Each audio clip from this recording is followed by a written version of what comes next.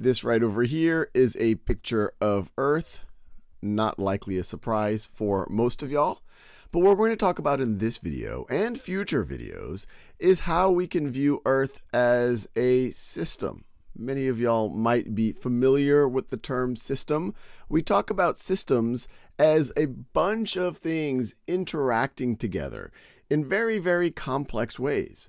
Now, the first division that we could think about the constituent pieces of the system, we could think about what is living and what is not living.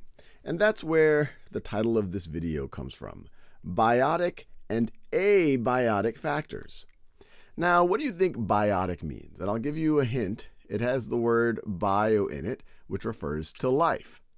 Well, a biotic factor is a living factor. So this is a living factor. Now, what's a living factor in a system? For example, our bodies are a system, our bodies are alive, but you also have biotic factors within that system. For example, you have gut bacteria inside of your intestines. That bacteria, they, are, they can live on their own if they needed to, but they are also part of your body's system. So the bacteria in your gut is a biotic factor. And some of you might be saying, hey, yeah, sometimes when I'm sick, my parents have given me antibiotics. And antibiotics are against living factors that are in your body. Now, antibiotics are usually if you have bad bacteria that are floating around in your blood or some other place that you want to get rid of, but it can also affect your good biotic factors, say the gut bacteria that you actually need to help with your digestion. So we now know that a biotic factor is a living factor. So what do you think abiotic means?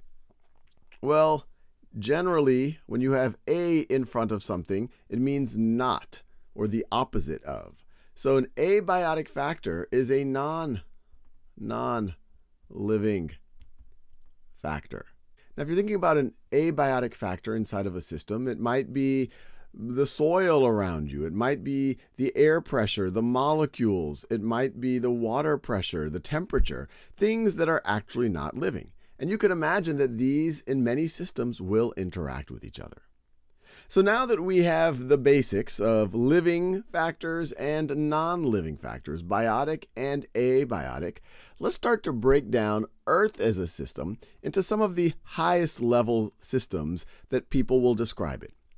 And these tend to be described as spheres. Now, why spheres? Well, Earth itself is a sphere, and the four main spheres that Earth scientists, biologists, other scientists will talk about are, in no particular order, the atmosphere, which is probably a term that you have heard of, and the atmo prefix is referring to all of the air around the Earth. We have about a 60 mile thick layer of atmosphere. Now, 60 miles sounds thick to us, but it's a very thin layer if you think about it from Earth's point of view. You can barely see the little thin atmospheric layer in this image of Earth that I got from NASA.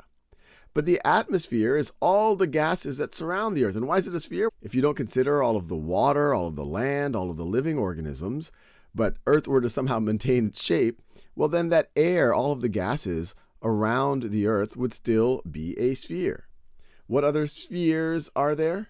Well, there's the biosphere, which you can imagine is all of the living organisms on Earth. So, once again, remove all the gas, or don't consider the gas, the land, and the water. But if all of the living organisms stayed in place where they were, and we're talking about trillions and trillions of organisms all over Earth, they are for the most part at the surface or very close to the surface of Earth, it would still resemble a sphere. And then another sphere that we could consider is all of the water, not only on the surface of the Earth, but also below the surface of the Earth, the hydrosphere. So when you look at this picture, it's obvious that the oceans and seas are part of that, but also lakes and rivers, and actually any form of water. We could even be talking about precipitation. We could be talking about rain. We could be talking about icebergs, because that too is water. And then the last sphere, which would really make up the bulk of the mass of Earth, all of the interior and surface of the earth, including the rocks, the continents, and the ocean floor, well, then you are talking about the geosphere. All of the non water, non gas, non living things that make up Earth, which is really most of Earth.